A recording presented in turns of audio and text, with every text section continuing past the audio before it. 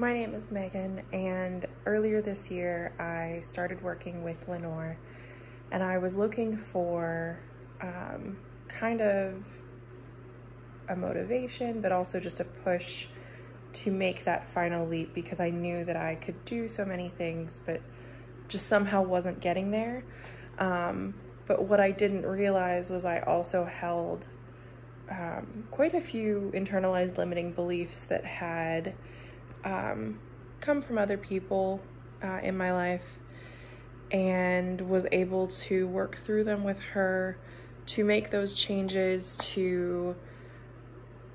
take better charge of the life that I wanted to live. Um,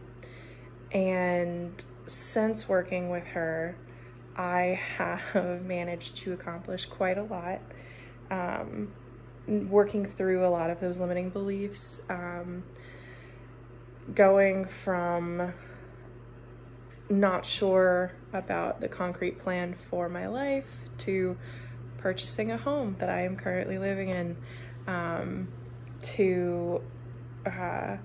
taking charge of the path I want to take with my writing, with my finances, with my personal life. Um, she is an incredible cheerleader. She is an incredible, incredibly insightful um, coach who can help you kind of break down some of those internalized limiting beliefs, those doubts, um, help you recognize what fears you uh, have, you know, from yourself and where they're coming from and how to meet them, how to face them, how to work around them if that's what it needs to be done.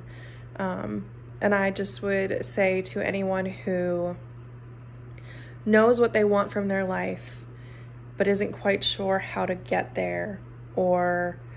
has been consistently trying to accomplish something but hasn't quite been successful, I think that Lenora would be quite the person to help you accomplish those things.